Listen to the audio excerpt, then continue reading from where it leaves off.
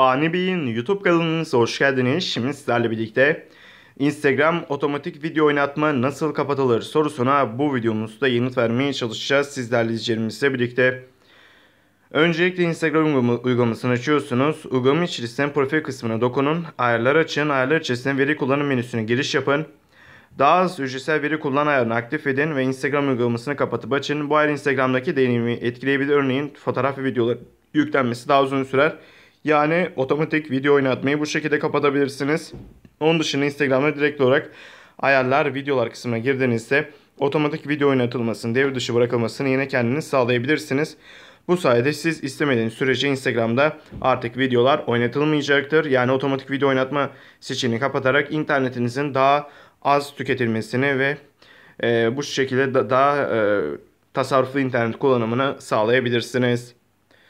Videomuz bu kadardı. Umarım videomuzu beğenmişsinizdir. Videoyu beğendiyseniz aşağıdan beğen butonuna kılmayı unutmayın. Kanalımıza abone değilseniz lütfen abone olun. Bir sonraki videomuzda görüşmek üzere. Hoşçakalın. Kendinize iyi bakın.